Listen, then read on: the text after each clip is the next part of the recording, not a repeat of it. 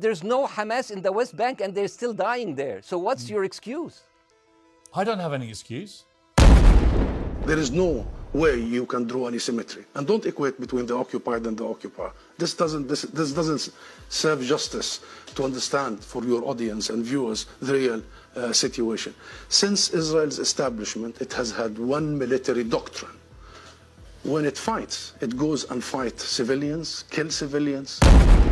Vous voulez pas du contexte de l'occupation, mais vous voulez du contexte des élections palestiniennes? Vous êtes sérieux? Je, je vous parle je suis de. je- quelqu'un de responsable et je vous parle en responsabilité.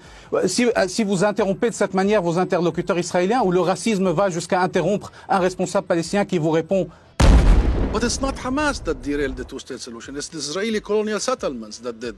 It's the lack of international pressure and accountability. It's this logic that Israel is above the law and the exception to every rule.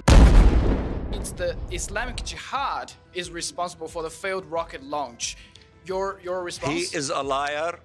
His uh, spokesperson and digital spokesperson tweeted that Israel did the hit, thinking that there is around this hospital a base for Hamas, and then he deleted